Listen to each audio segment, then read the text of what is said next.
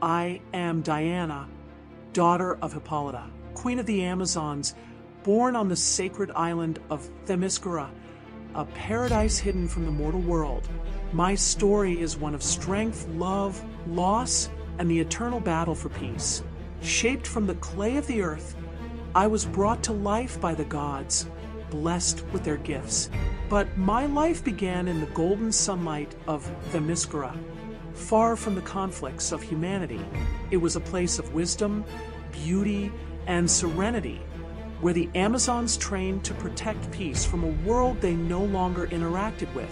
From a young age, I was taught that the world outside was full of strife, chaos, and corruption. My mother, Queen Hippolyta, led our people with grace and strength, and from her, I learned the ways of leadership and diplomacy.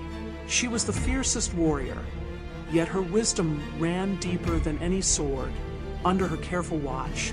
I was trained by General Antiope, the greatest warrior Themyscira had ever known. Every day was spent honing my abilities archery, swordsmanship, combat, and more. The Amazons knew how to fight, but we fought not to conquer, but to defend.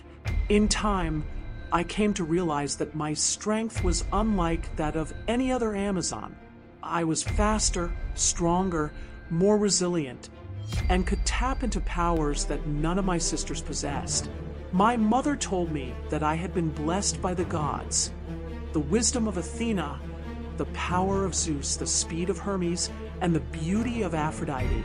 I did not fully understand the gravity of these gifts, but I knew that they marked me for something beyond the peaceful shores of Themyscira. It was when Steve Trevor fell from the sky that I truly began to understand my purpose. His plane crashed into the blue waters surrounding our island, and though we rescued him, his presence brought chaos to our tranquil world. He spoke of a war, a war unlike any Themyscira had ever known. It was a war that consumed the entire planet, one of violence and hatred killing millions. Steve was a soldier fighting for the Allied forces, but he had stumbled into our paradise, pursued by enemies that sought to kill him.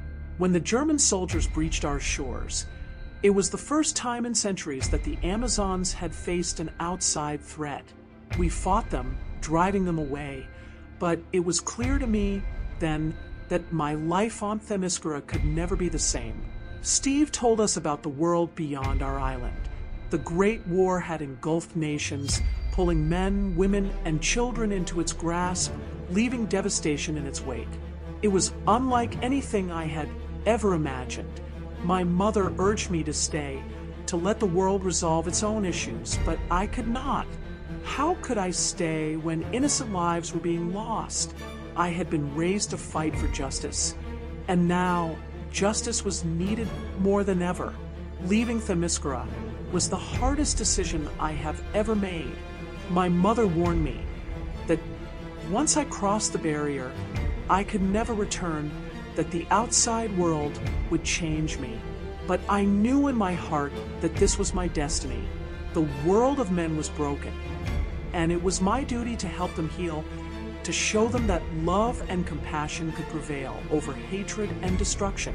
As I sailed away from my homeland with Steve, I looked back one last time at the shores of Themyscira, not knowing if I would ever see them again. The world outside was harsher than I had imagined. We arrived in London, a city choking under the weight of war. The streets were crowded with people, many of them struggling, many of them suffering.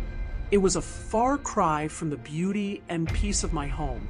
Yet, even in the face of such despair, I saw moments of kindness, of bravery, of resilience. People were fighting to survive, to protect one another, and that gave me hope. As Steve and I journeyed deeper into the heart of the war, I began to see the true horrors of conflict. The fields of battle were littered with the dead and the wounded. Villages were burned, families torn apart. For the first time, I witnessed the cruelty of man, and it shook me to my core. I had believed that humanity was good, that they were simply lost. But now I saw that there was a darkness within them, a darkness that Ares, the god of war, sought to exploit. Ares was the true architect of this devastation. He had sown discord among mankind, turning brother against brother, nation against nation. He wanted to prove to the gods that humanity was irredeemable, that they were unworthy of the gifts the gods had bestowed upon them. I knew then that my mission was not only to end the war, but to defeat Ares once and for all. Steve and I assembled a team, brave men who were willing to fight for a cause greater than themselves. Together, we made our way to the front lines where the war raged fiercest. I fought alongside them, using my gifts to protect the innocent, to drive back the forces of tyranny. With every battle, I grew stronger, more confident in my abilities.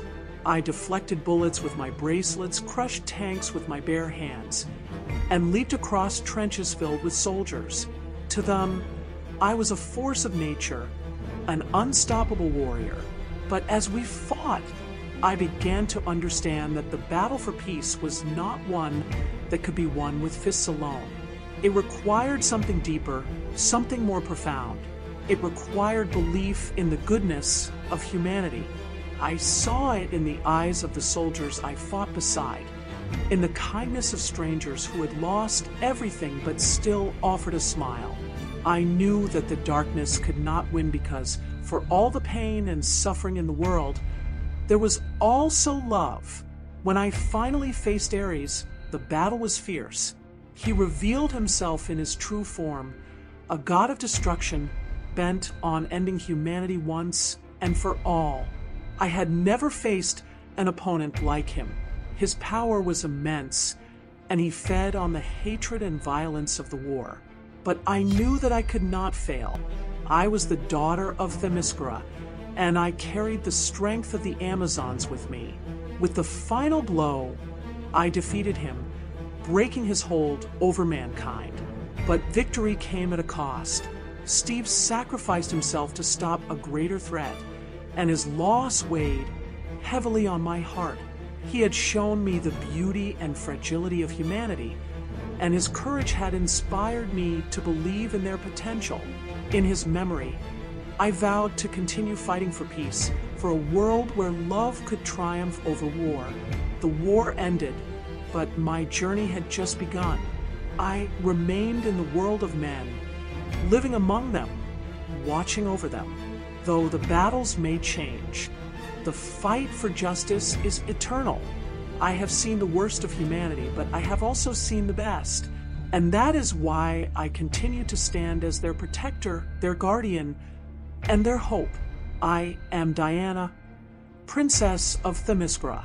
I am Wonder Woman. Wherever there is darkness, I will bring the light. Wherever there is hatred, I will fight for love. The world may never be perfect, but as long as I draw breath, I will fight for a future where peace reigns.